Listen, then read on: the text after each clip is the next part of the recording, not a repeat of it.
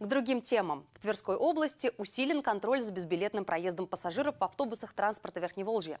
Теперь полиция может ловить безбилетников в общественном транспорте. Наша съемочная группа приняла участие в одном из рейдов по поимке зайцев в областной столице.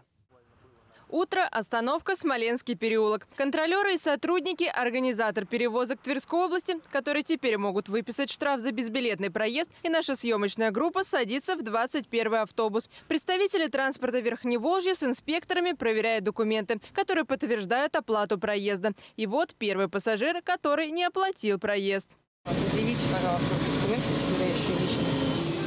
Отлично, тогда мы будем видим на следующей остановке, вызовем 112 и будем выяснять. Мне на работу надо.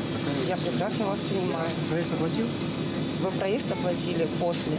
Сейчас в регионе установлен единый штраф за безбилетный проезд. Он составляет 2500 рублей. При этом проезд по безналичной оплате составляет 27 рублей. Уполномоченное лицо, это главный специалист нашего учреждения, заходит в автобус и просит подтвердить оплату проезда. Совместно с нами участвуют в мероприятиях. Это представители транспорта Верхнего Волжья, контролеры. У них есть соответствующие технические средства.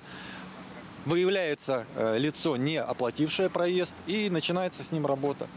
Подчеркивают сотрудники ведомства, оплата проезда должна осуществляться при входе в автобус, а не при входе контролеров. Напомним, что оплатить поездку в автобусах транспорта Верхневолжья можно картой «Волга», банковской, социальной или школьной картой, с помощью QR-кода, приложением «Волга» посредством нового цифрового сервиса оплаты через Bluetooth. Ну и, конечно, купить билет можно за наличные у водителя. Инспектор предлагает подтвердить оплату проезда. Если она не подтверждена, он сейчас имеет в своем арсенале э, все нормативные документы, он разъясняет гражданину, что он нарушил такую-то статью, такого-то закона, показывает ему ссылка на закон. У него появляется право, выявив нарушителя, попросить предъявить удостоверение личности, то есть паспорт. А гражданин обязан предъявить ему удостоверение личности. После этого составляется административный материал.